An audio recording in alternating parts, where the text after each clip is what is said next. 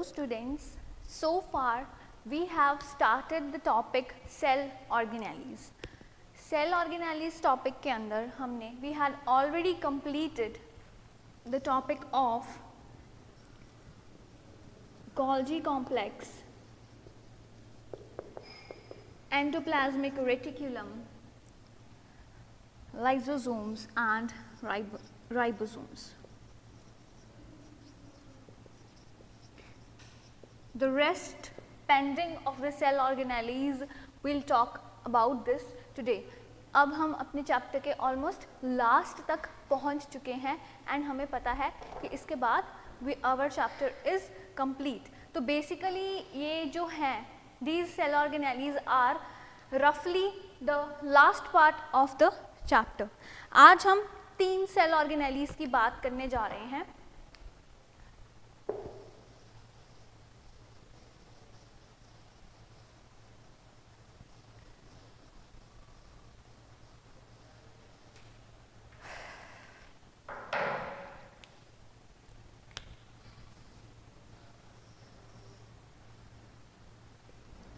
First one is the mitochondria.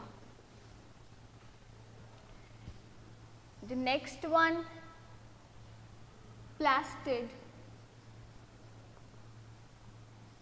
and after that we are going to talk about vacuoles. We have the three things the first thing is the mitochondria, the next thing is plastids and after that we have the last part that is the vacuoles. Okay. So let us start from the mitochondria. Mitochondria is also known as the powerhouse of the cell. Mitochondria is also known as the powerhouse of the cell As we know that all living organisms, exceptionally every living organism, either that is a bacteria, either that is plant, either that is animal or fungi or, or any prokaryote, eukaryote, कोई भी organism है, that organism is able to respire and respiration gives us energy. Thus, mitochondria is the powerhouse of the cell because mitochondria is the site of cellular respiration.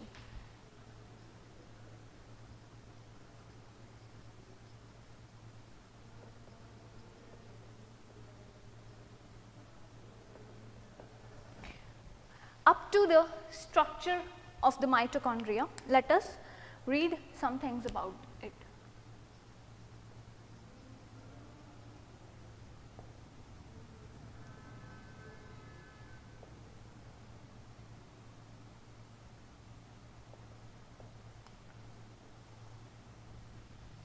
Structure of the mitochondria. So, mitochondria is a double membraned organelle. Double membraned cellular organelle only present in the prokaryotic organisms. Prokaryotic organism, uh, sorry, only present in the eukaryotic organisms. जो mitochondria है that is only and only present in the eukaryotic organisms and is responsible for the cellular respiration in the eukaryotic organisms. तो prokaryotic organisms में mitochondria का काम uh, कौन करता है Mesosomes are the structures that are present in the prokaryotic cell जो mitochondria का काम प्रोकैरियोट्स में करते हैं जो क्या करते हैं पावर हाउस बेसिकली रेस्पिरेशन के लिए सरफेस एरिया मेंटेन करते हैं। First of all let us read the structure and the function of mitochondria then मैं इसको प्रोकैरियोटिक ऑर्गेनिजम्स के बिहाफ में भी आपको समझा दूँगी। डबल मेम्ब्रेन ऑर्गेनली मतलब इसकी दो मेम्ब्रेन्स हैं। Let us draw the structure it has the two membranes the outer membrane is porous outer membrane is very porous porous क्यों है to for exchange of materials from the cytoplasm to the mitochondrial matrix. Okay. Double membraned organelle, outer membrane is porous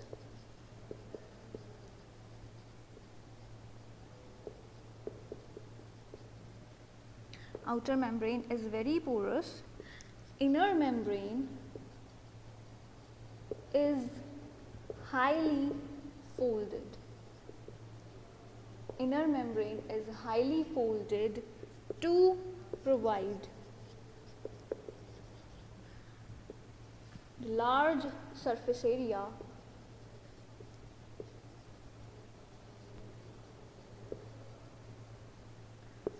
for the cellular respiration to occur. Inner membrane is highly folded to provide the large surface area for the cellular respiration to occur. It is like this.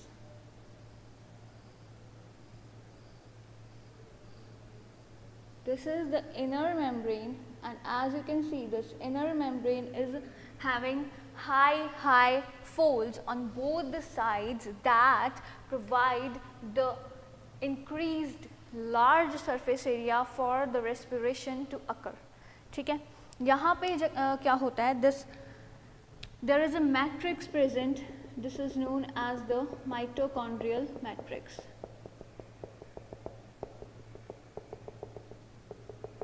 cellular respiration takes place inside the mitochondria of the matrix. तो इसकी अगर हम labelling करेंगे तो that is the outer porous membrane inner highly folded membrane see आपको mitochondria का structure diagram ये सब कुछ भी नहीं आने वाला है। जस्ट टू एक्सप्लेन यू क्योंकि एनसीईआरटी में आपको स्ट्रक्चर है। स्ट्रक्चर को समझने के लिए आपको उसको ड्रॉ करना पड़ेगा. That's why I am just giving you a visual clarity of the point we are reading इसीलिए आपको ये ताकि सब कुछ समझ आ जाए. And then highly folded membrane and then this is the matrix now cellular respiration takes place inside the matrix.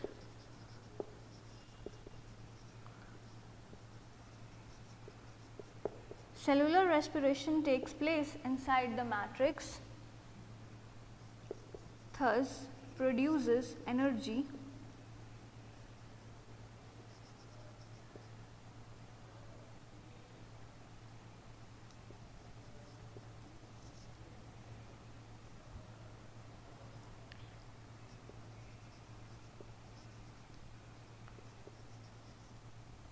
thus produces the energy inside the mitochondria and it is named as powerhouse of the cell. It is thus named behind it the power house of the cell the power house of the cell mitochondria को क्यों बोला जाता है? Because it produces energy in the form of cellular respiration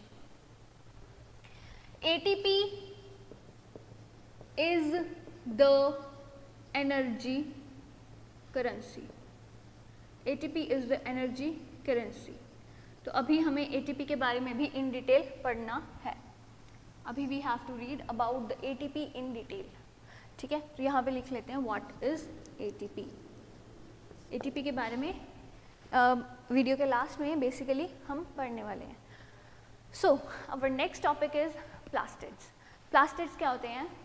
Plastids are only present in plants.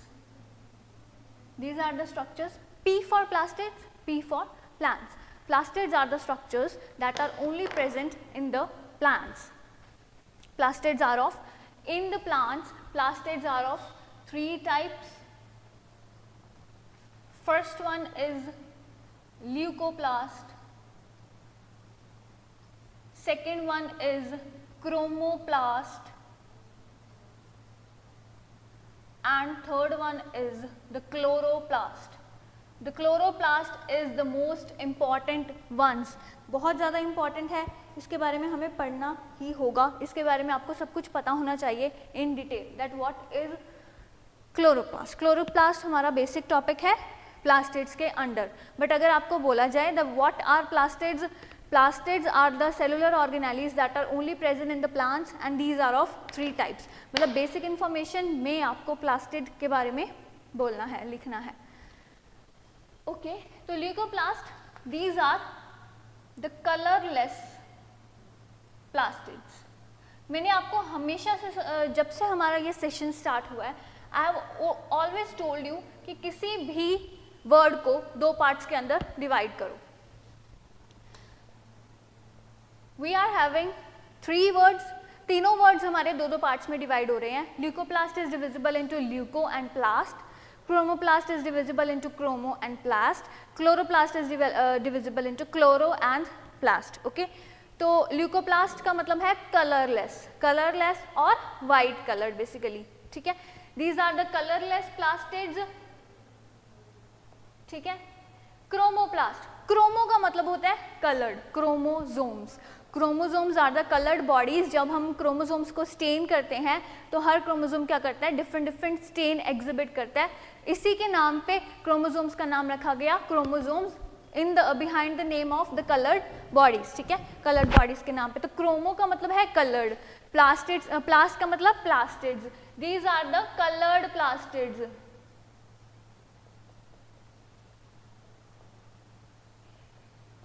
chloroplast, these are the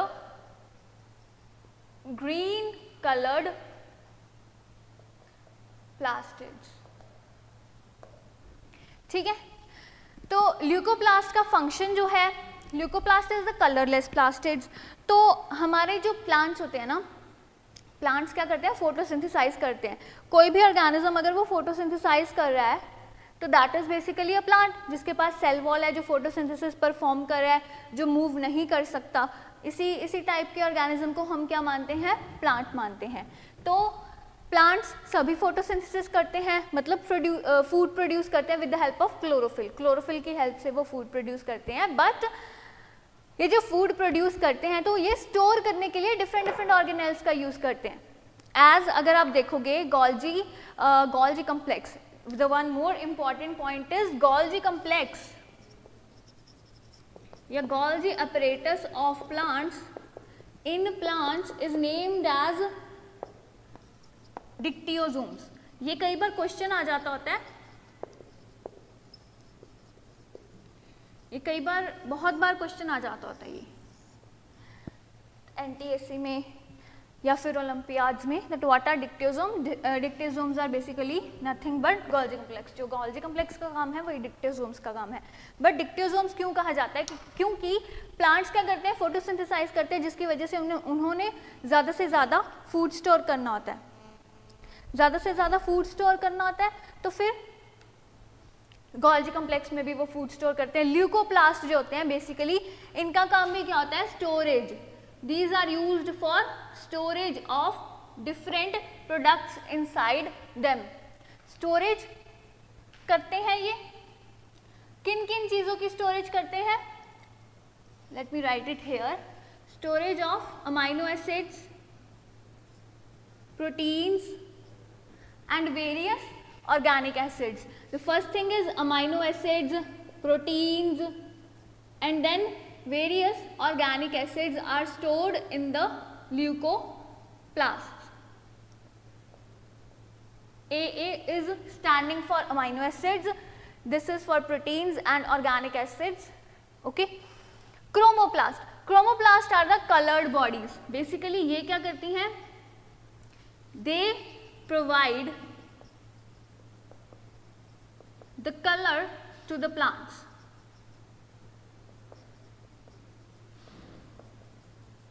Plants के बहुत सारे parts होते हैं they are coloured like petals sometimes the leaf is colored sometimes the bracts are colored different different colored parts होते हैं they are basically due to the chromosomes chromosomes क्या करते हैं chromosomes uh, sorry chromoplast provide the color to the uh, various different parts of the plants. Okay. Now our next topic is that we have to do in detail and that is chloroplast. Chloroplasts are again double membraned.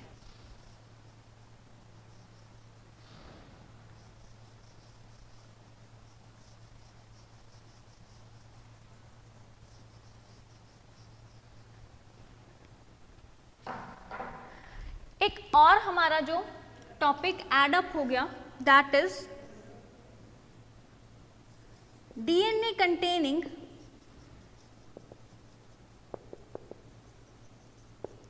organelles. DNA containing organelles. अब हमारा topic है green coloured plastids why these are green colour these are green colour due to the presence of chlorophyll due to presence of chlorophyll basically the chlorophyll A provides the green color ठीक है along with the green color yellow and orange color is also provided to the inside the yellow and orange colored pigments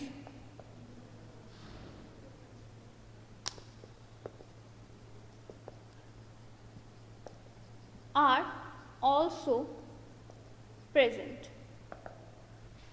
With the help of uh, along with the green colored pigment, the orange and the yellow colored pigments are also present. अब अगर chloroplast का structure देखा जाए तो chloroplast is also double membraned इसके अंदर भी matrix होता है. The matrix is similar to the mitochondrial matrix mitochondria क्या कर रहा था? रेस्पिरेशन कर रहा था. क्लोरोप्लास्ट क्या कर रहा है? क्लोरोप्लास्ट फ़ूड प्रोड्यूस कर रहा है with the help of photosynthesis and it is known as the kitchen of the cell chloroplast का नाम क्या है? किचन ऑफ़ द सेल क्योंकि ये क्या कर रहा है? ये फ़ूड प्रोड्यूस कर रहा है। अभी माइटोकॉन्ड्रियल सॉरी क्लोरोप्लास्ट का मैट्रिक्स है। इसके भी दो मेम्ब्रेन्स है। इसमें क्या होते हैं? स्ट्रक्चर्स पाए जाते हैं। These flattened sacs like structure इस एक स्ट्रक्चर को क्या बोलते हैं? थैलाकॉइड थैलाकॉइड की अगर मैं डेफिनेशन लिखूं flat and sac like structured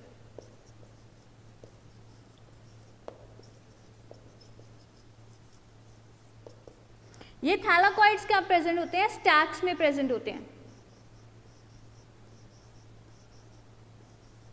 ये ये सारे थैलाकॉइड्स हैं जो स्टैक्स में प्रेजेंट है। This one stack is known as granum and this chloroplast matrix is known as stroma. And बहुत सारे जब ग्राना प्रेजेंट होते हैं, एक क्लोरोप्लास्ट के अंदर तो ग्रैनम का प्लूरल क्या होता है? Grana the plural of grana is granum is grana thylakoid flatten uh, flattened sac like structures uh, are the thylakoids flattened sac like structures are the thylakoids these are present Thylakoids are present. Let me write it here. Okay. Grana. Thylakoids forms stack-like structure.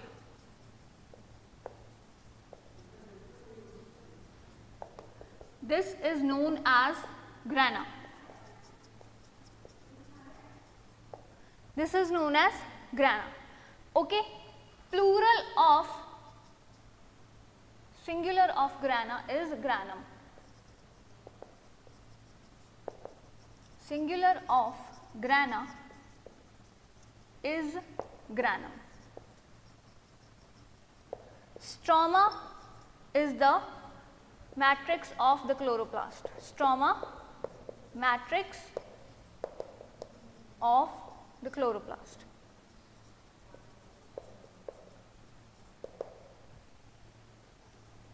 अब आप एक और चीज़ पढ़ोगे आपने NCERT में पढ़ी होगी देखी होगी light reaction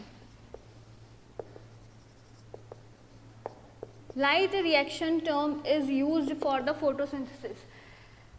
Grana are the site for the light reaction light reaction मतलब फोटोसिंथेटिक रिएक्शन जो लाइट की प्रेजेंस में होता है, जिसकी वजह से inorganic substances are converted into organic substances इसीलिए क्लोरोप्लास्ट को क्या बोला जाता है? किचन ऑफ़ द सेल बोला जाता है। ठीक है? Now the next thing is of vacuoles vacuoles are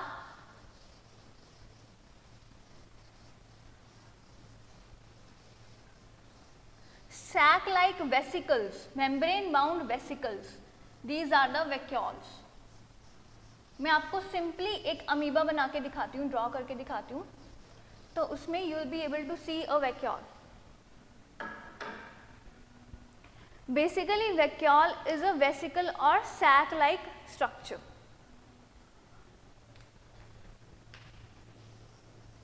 this is a vacuole this vacuole में भी these are sac like vesicles. Smaller in animal cell.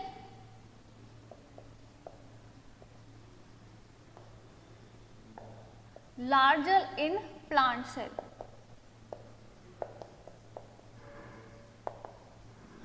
plant cell के अंदर ये 50 से लेके 90 percent of the volume occupy करते हैं।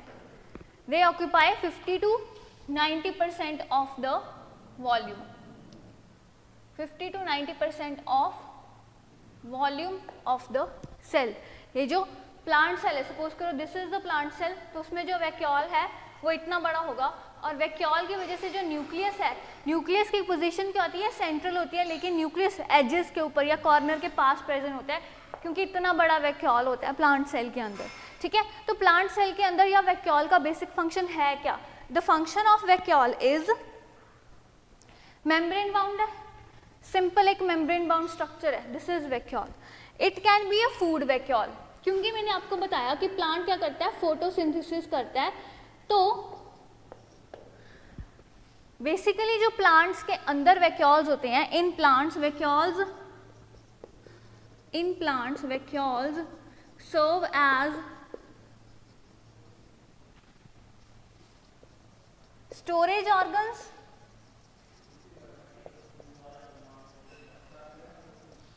as well as they provide turgidity. To the cell.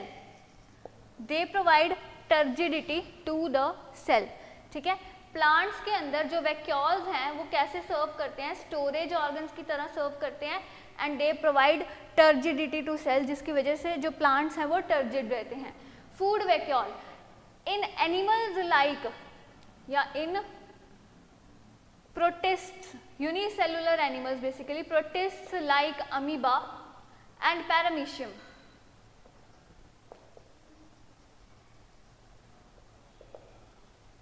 The food is stored in the food vacuole. The food is stored in the food vacuole and then it is further digested. And next osmoregulation. The next function of food uh, next uh, function of vacuole is providing the osmoregulation osmoregulation kya hota hai basically this is the point to be noted you have to note note this uh, point because i'm going to rub it turgidity कौन provide करता है plant के अंदर vacuoles osmoregulation in certain organisms the vacuoles. Serves the function of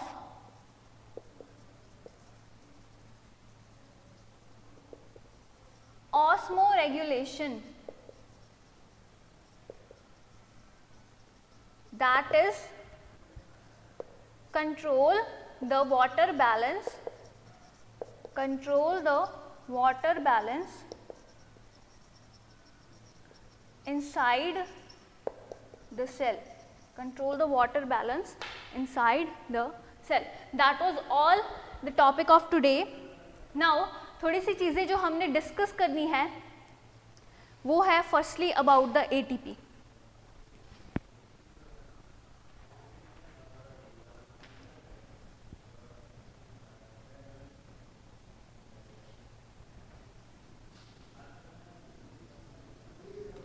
ATP की full form क्या है? ATP की full form है adenosine triphosphate the full form of ATP is adenosine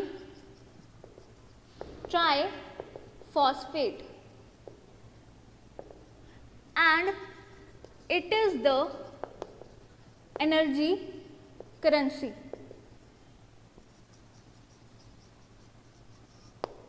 Complete oxidation of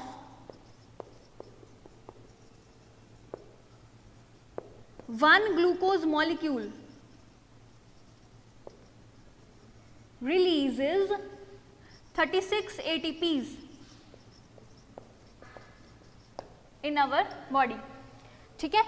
What is ATP basically ATP की full form है adenosine triphosphate it is the energy currency जैसे कि हम currency use करते हैं.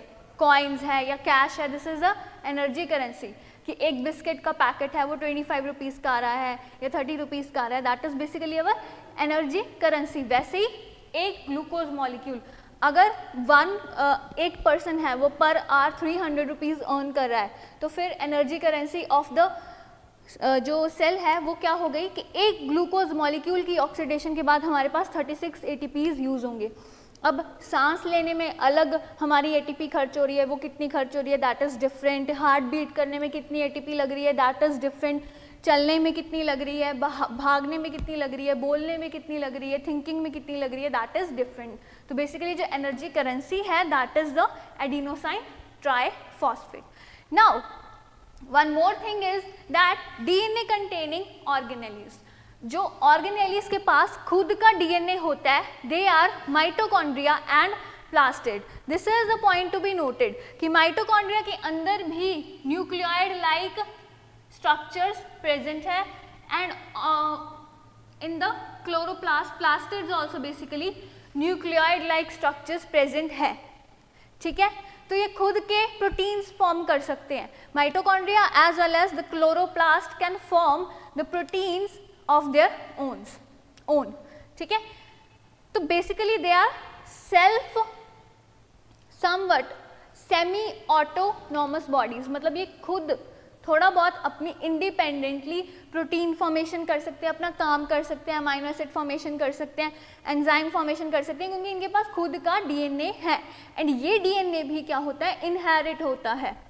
ठीक है? इसकी बात हम रिप्रोडक्शन वाले चैप्टर में in detail in the tenth class करेंगे। तो this this was all about कि पहले क्या होता था बेसिकली पहले साइंटिस्ट uh, का ये मानना है mitochondria and plastids are prokaryotic cells पहले ये प्रोकरियोटिक सेल्स थे जो अब एक क्या हो गए यूकरियोटिक सेल के साथ एसोसिएट होके एक सिम्बायोटिक रिलेशनशिप फॉर्म कर लिया इन्होंने कि ना ही हमारा सेल माइटोकॉन्ड्रिया और प्लास्टिड के बिना रह सकता है और ना ही प्लास्टिड और माइटोकॉन्ड्रिया हमारे सेल के बिना रह सकते हैं।